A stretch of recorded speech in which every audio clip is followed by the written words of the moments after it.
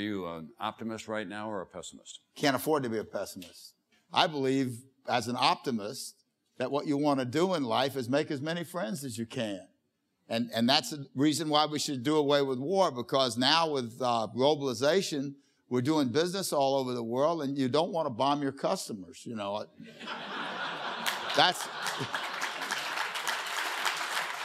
I found that to be the case with, with CNN. I mean, we were doing business in every country in the world, including North Korea. I think we're the only country in the world that was doing business everywhere. And I just, we couldn't go to war with anybody without bombing our, our customers. So I became a man of peace because I want to protect my customers.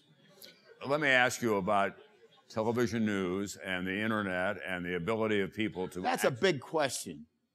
You're a big guy with a big yeah. view of the world. There's only so much really important news uh, every day that, and with the proliferation of news channels all over the world, not just uh, here in the United States, there's tremendous pressure to get people to watch these channels so they can sell advertising for a higher price.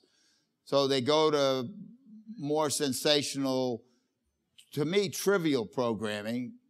And, and, and I think it hurts us because we need good, solid information now more than ever. And my greatest regret in life, other than the failure of my marriages, was, uh, was, was, was losing control of CNN because if I still had control of CNN, I would, I would have the courage uh, to stick with more important news and more international news and try because we're not going to make it through this difficult time without good information. And what we just need to do is start act, acting like intelligent, educated, decent, kind hearted human beings. If we start acting like that, then we'll be fine.